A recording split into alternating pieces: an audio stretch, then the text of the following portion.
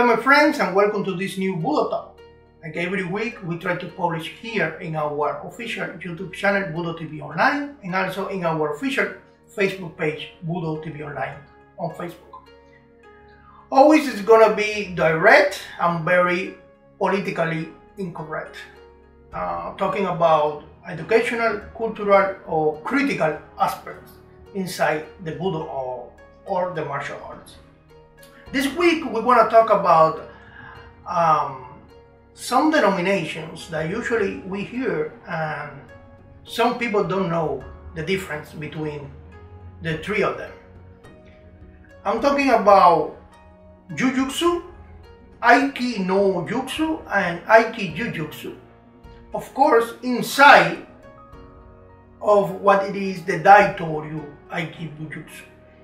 I repeat, inside the Daito Ryu Aiki Bujutsu. The Jujutsu, Aiki no Jutsu, and Aiki Jujutsu. First, I would like to uh, talk about the historical aspects. Let's come back in time a little bit. Supposedly, uh, the origins of the Daito Ryu Aiki Bujutsu begins with Shinra Saburo Minamoto no Yoshimitsu, like about 900 years ago Shinra Saburo Minamoto no Yoshimitsu uh, belonged to the lineage of the Seiwa Genji line. The Seiwa Genji is supposed to be descendants of the famous Emperor Seiwa in Japan.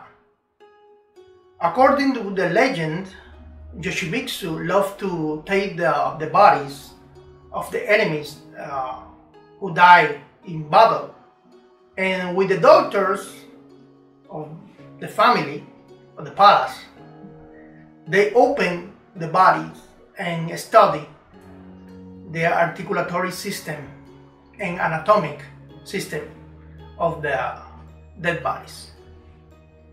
Also, he was a famous practitioner of the lost art of Tegoi Tegoi is an ancient Japanese martial art supposed to be the ancestor of the modern sumo and was practiced also by the Shintoist priest at the time. Eventually, um, the Minamoto family of Shinra Saburo Minamoto no Yoshimitsu moved to the area known at that time as Kai. Kai today is the Yamanashi Prefecture. His, uh, his grandson and grand-grandson adopt uh, the last name of Takeda. They changed the last name of Minamoto and beginning to use they began to use the last name of Takeda. That is the moment where the Takeda line born and continue to these days, the famous Takeda line. I say before uh, the origin of the Daito Ryu or the Aiki arts begins with, supposedly begins with Shinra Saburo Minamoto Yoshimitsu. I say supposedly because when you see the old uh, scrolls of ma or makimonos before Shinra Saburo Minamoto Yoshimitsu, you can see a lot of names, but the kanjis are written in a very ancient uh, way. So many even the expert cannot uh, translate it. So we know there are more people, but the only point they could start translating from was from Shinra uh, Saburo Minamoto no Yoshimitsu. To that point on, but they, they cannot go back because they, they don't know how to translate the names. So when they is uh, beginning to live in Kai, today Yamanashi Prefecture. One of the descendants of the Takeda line, the famous General Takeda Shingen, opposed the unification of Japan. The unification of Japan was uh, an idea created by Oda Nobunaga and Tokugawa Ieyasu. The beginning a big, they start a big fire, big battle around Japan, and Takeda Shingen opposed them and fight with them in a big battle. Takeda lost this battle, but the winners, usually in that time when you lose a battle, your clan will be destroyed completely. But Oda Nobunaga and Tokugawa Ieyasu, because they have a great respect for Takeda Shingen, allowed that clan to continue working. Years later, uh, many years later, a descendant of Takeda Shingen, Takeda Katsuyori, moved the family what is today Aizu Wakamatsu, the Fukushima prefecture, in another area in Japan. In that moment, something really funny happens because the techniques of the Takeda family unify with the techniques inside the Aizu clan and they create something called Oshikiuchi, the great style of the East.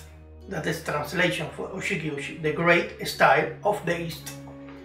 And they're beginning to share knowledge and create something wonderful. Years later, another descendant, Takeda Sokaku, after the Meiji restoration and when the Meiji emperor attacks the Aizu clan, when the Aizu clan oppose the change of the political system in Japan, Japan changed for feudalism to capitalism, and the Aizu clan opposed that. The Aizu clan is almost destroyed by the emperor uh, army, and Takeda Sokaku, a descendant of that clan, um, beginning to teach, he began to teach the art outside the clan, outside of the Aizu clan and the Takeda family. And he changed the name of Oshikiuchi to Daitoryu. Something funny here. The translation of Daitoryu is the same of Oshikiuchi. Daitoryu is the great style of the East. Oshikiuchi is the same, the great style of East. So he's looking for a different way to say the same name. But something funny is like when Shinra Saburo Minamoto no Yoshimitsu was a child, the house or the mansion when he lived was called Daito-kan, the great mansion of the East. The Daito-kan was in the, I think, what is today the Shiga prefecture. In ancient times, was called, uh, was called Omi. Today, Shiga prefecture.